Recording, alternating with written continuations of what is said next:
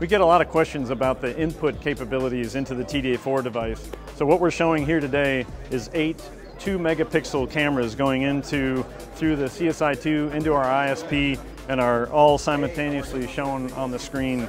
So what would you do with eight, uh, eight cameras? You can do multi-camera surround view, Simultaneously, you could do driver monitoring, CMS, in-cabin monitoring. So what you do with the eight cameras is up to our customers. The other aspect of this is it's not just limited to eight two megapixels.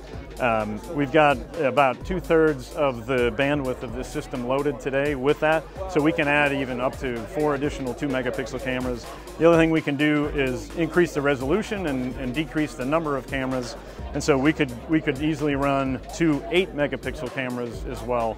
So it shows you the flexibility and the capabilities of the, uh, the inputs for cameras.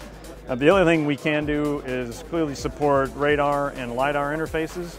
Um, and, and so, you know, we can do equal number of, of radar or LiDAR sensors into the, the platform as well.